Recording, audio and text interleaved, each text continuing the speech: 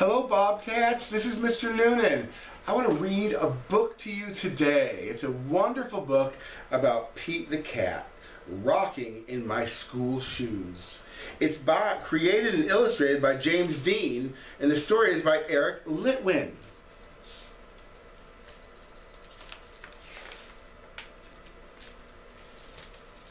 Here comes Pete strolling down the street rocking red shoes on his four furry feet. Pete is going to school and he sings this song. I'm rocking in my school shoes.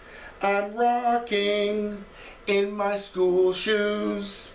I'm rocking in my school shoes.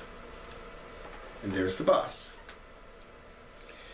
Pete is sitting at his desk when his teacher says, Come on, Pete, down that hall to a room with books on every wall. The library! Pete has never been to the library before. Does Pete worry? Goodness no. He finds his favorite book and sings his song. I'm reading in my school shoes. I'm reading in my school shoes. I'm reading in my school shoes. Check out Pete. He's ready to eat in a big noisy room with tables and seats. Where is Pete?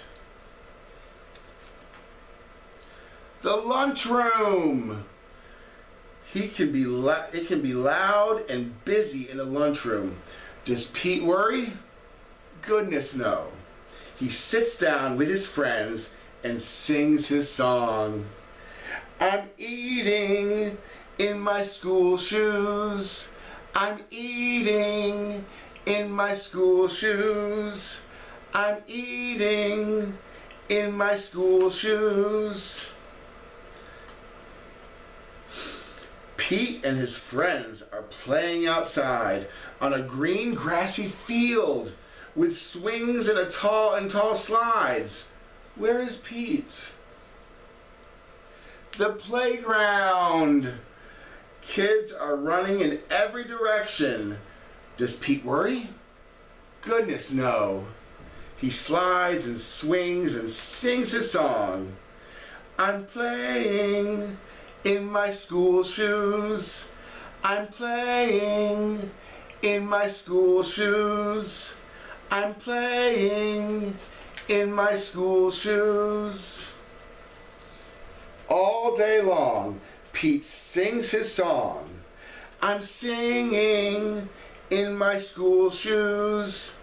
I'm painting in my school shoes. I'm adding in my school shoes. I'm riding in my school shoes. When school is done, Pete rides the bus home. Pete's mom asks him, What did you do at school today? And Pete says, I was rocking in my school shoes. I was rocking in my school shoes. I was rocking in my school shoes. And I will do it again tomorrow because it's all good. The end. I'll see you on Monday morning.